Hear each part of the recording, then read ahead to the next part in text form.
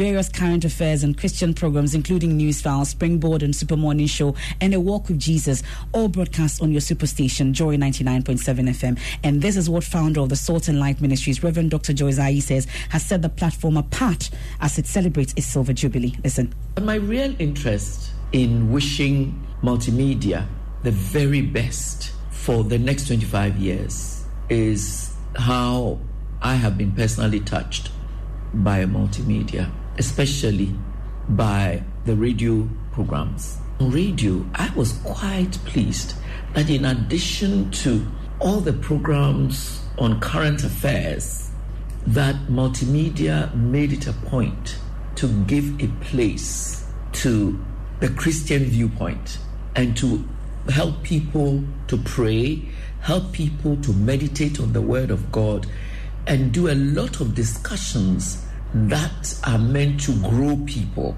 That is very important because you know people need to grow beyond just Sunday service, and so that I really congratulate Joy FM for. And it's definitely been 25 years of impactful broadcasting. What are people talking about on social media maps? All right, people are talking about Afro Nation because government has signed a five year deal for the concert to be hosted annually in Ghana. And I was speaking to Rudy Kwache, who's the chief executive officer of Rave Media Group, the local partners of Afro Nation. And they say that they're very excited for this and they they know that Ghana will benefit, but people on Twitter don't read are, are not agreeing with him. At Kobe Dexter says the Afro Nation thing is a big deal. The government really try, but this one says Mr. Ibrahim Mo says Nana is in the UK trying to woo investors. All economic indicators show that the government is doing the right thing. And at DBS Ama says we do not want or need Afro Nation to be in Ghana ever again, please. And Toss them says Afro Nation uh, contributed to the year of return. I'm happy those in charge saw the intangible benefits and have made this deal deal. And of course, Boris Johnson has been speaking Chi. Later, we'll talk about it. And that's it for the midday news. There's more news when you log on to myjoyonline.com. Dr. Mensah Otabil is up next. I am MFR Paul. Thanks for your company.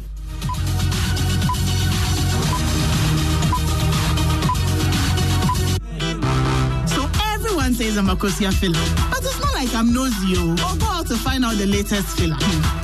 Just that I get 50 megabytes of data free after paying for only the first minute of every call. And so I just keep discovering stuff minute after minute. That's how come I was minding my business, scrolling through my timeline, and I found out Coco has a new baby. Hmm. Oh, and last week I learned Ken won the lottery. You see, Ken is my brother's friend. So hello. Look who's about to roll with the rich and famous. Enjoy even more value with MTN Free After One. You only pay for the first minute of your call on MTN Free After One, and the rest is free. Plus, you enjoy free 50 megabytes worth of data to browse your favorite sites. Compare where, compare there. So dial star 315 hash to sign up. We day for you everywhere you go. Terms and conditions apply.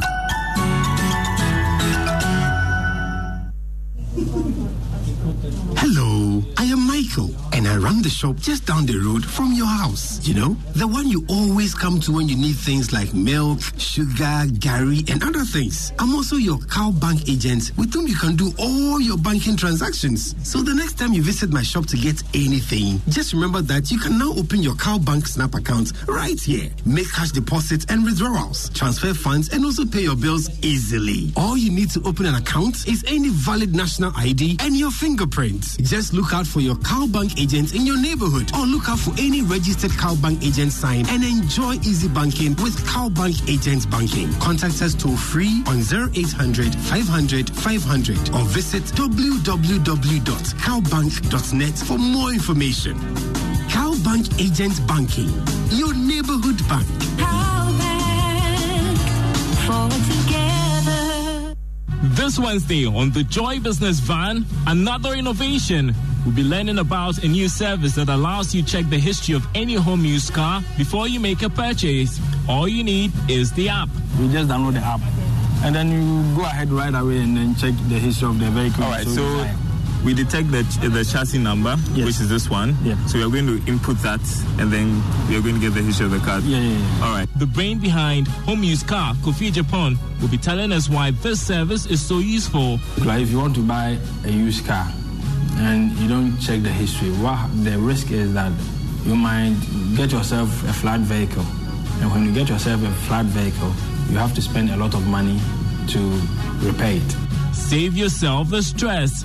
Home use car on the Joy Business Van on TV, radio, online, and on ground. It is powered by Joy Business and supported by EcoBank, the Pan African Bank.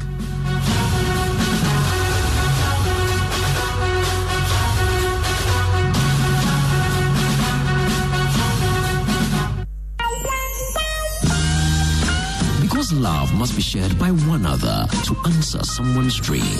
Join me on the Late Night Express, Mondays to Wednesdays, 10 p.m. till midnight. It's a whole new world of romance on Mondays and Tuesdays, and a deep, no holds barred brothers chat on Wednesdays from 10 p.m. You don't want to miss the all new Late Night Express. Is here to stay with George Quaye. Only on Joy 99.7 FM. The Late Night Express. Let's love.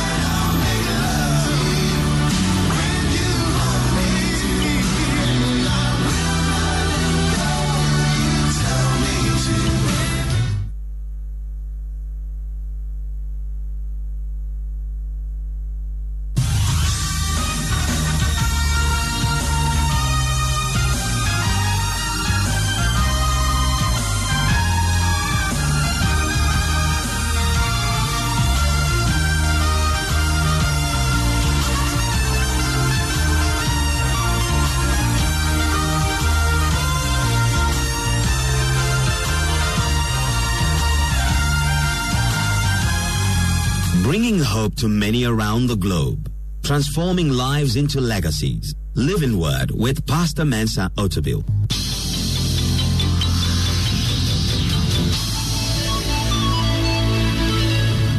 And now, today's word. When God makes your feet like the deer, you don't only have speed, you have stability.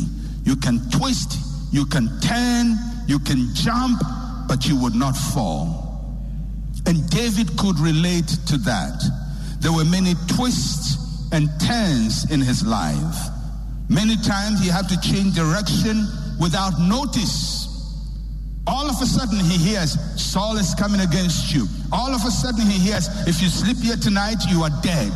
But in those moments he turned, he twisted, he moved, and he was always stable. He never moved from that into a bigger trap. Anytime he moved, he was stable, he was secure, and he could move on. When God makes your feet like the feet of the deer, he gives you speed and he gives you stability. You don't fall from frying pan to fire. You don't fall from one trouble to the other. But when you twist and turn, he gives you stability. You can have that stability. In the second part of the verse 33, David says, He sets me on my high places. I love that. God raises me up to new heights. He sets me on my high places.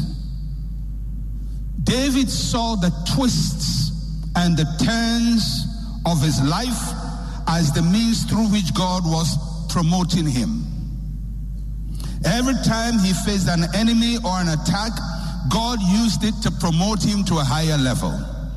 Every battle he fought allowed him to capture a new strategic position. God setting you on high. The twists and turns of life are not diverting your direction and attention, they are setting you on high. When you see your life moving in zigzags, sometimes you may not see progress. But David saw the zigzags of his life as God setting him on high.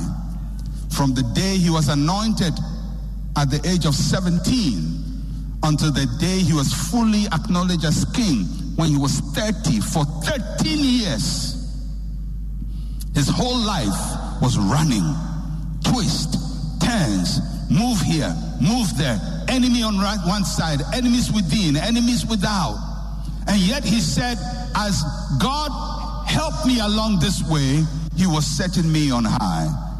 He never saw the twists and turns of his life as taking him backwards. He saw it are setting him on high. You know, many times when we face the twists and turns of life, we think our lives are not moving anywhere. We're not achieving anything. Nothing is happening in my life. I'm just running, running, running, running. Enemies, enemies, enemies. But David says, in the midst of all of that, God set me on my high places. Isn't that wonderful? To know that in the midst of all the turns of life and all the twists of life, God is setting you up in new heights.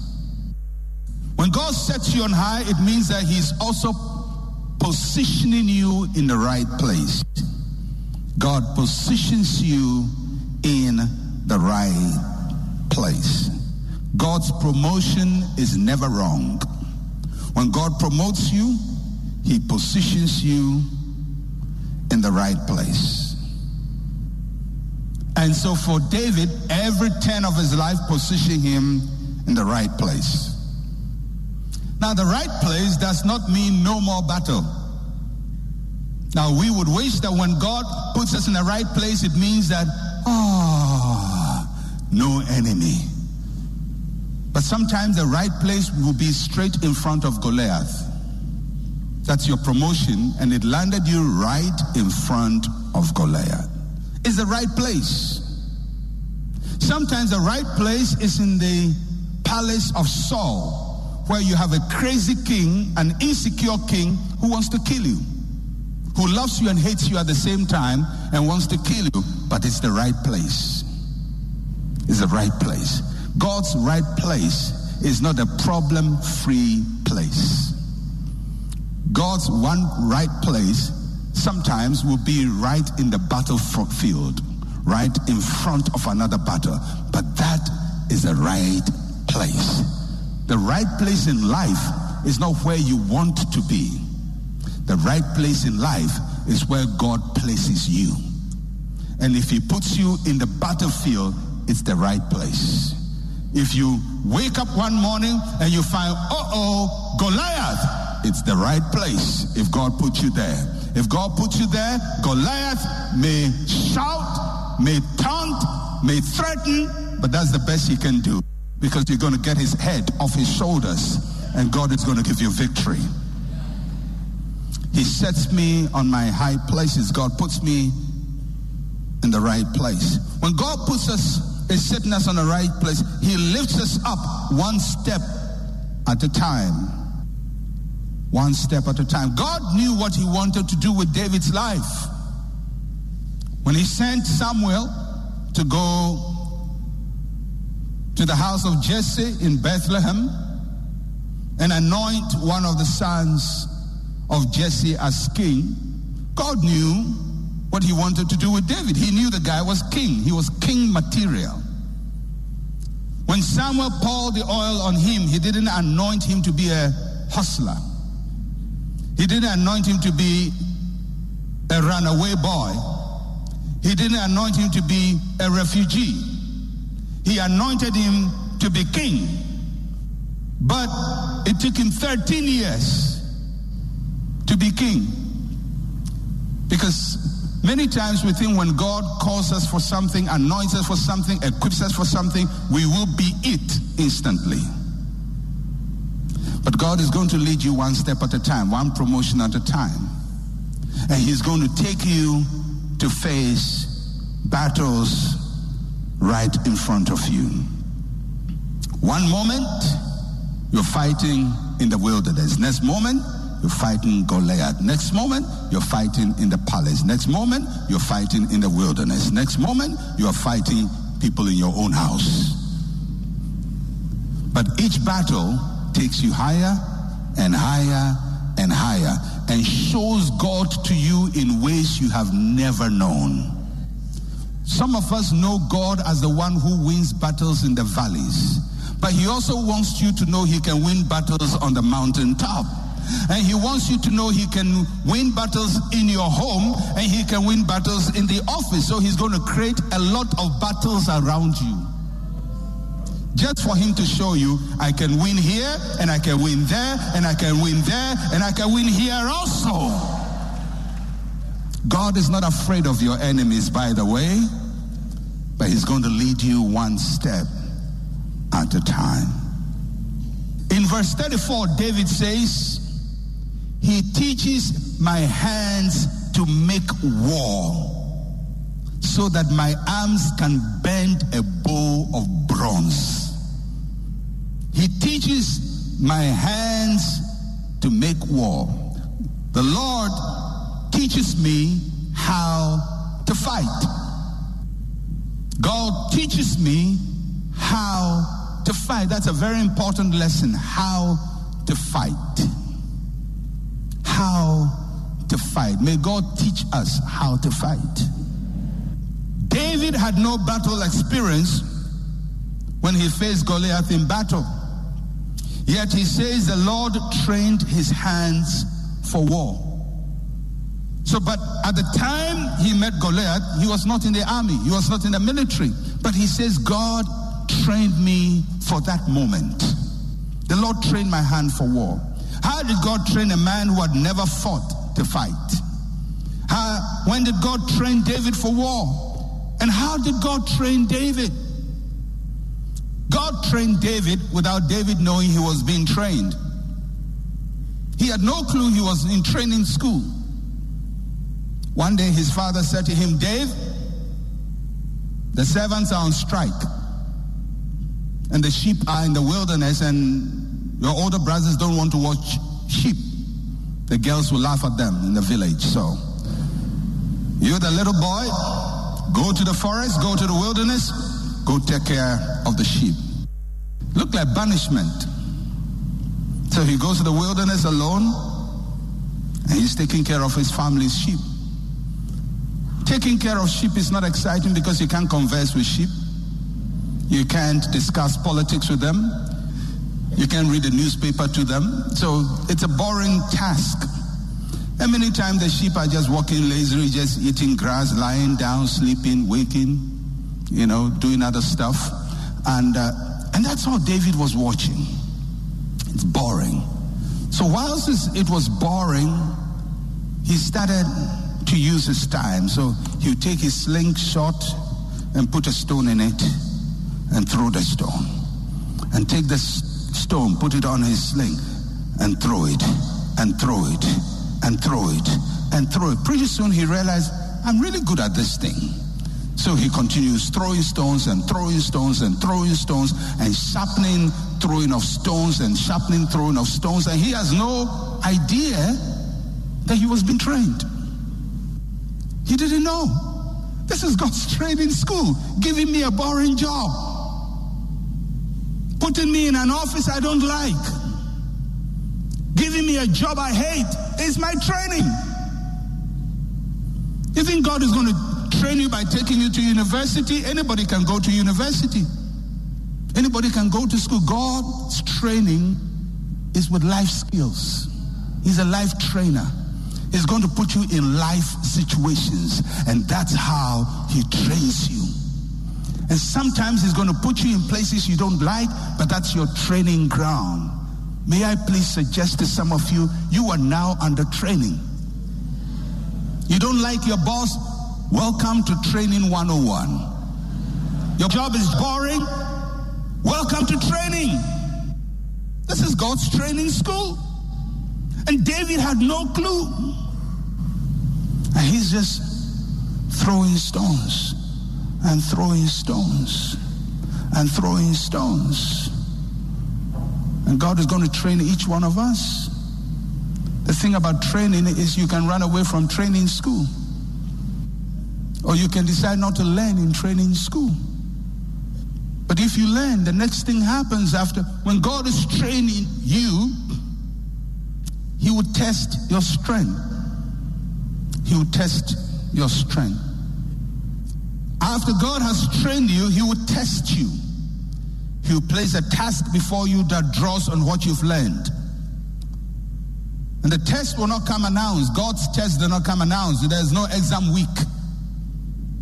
God does not come and say, Well, uh, my son, uh, this week is exam week. Prepare for geography and learn about the semi deciduous forests. No.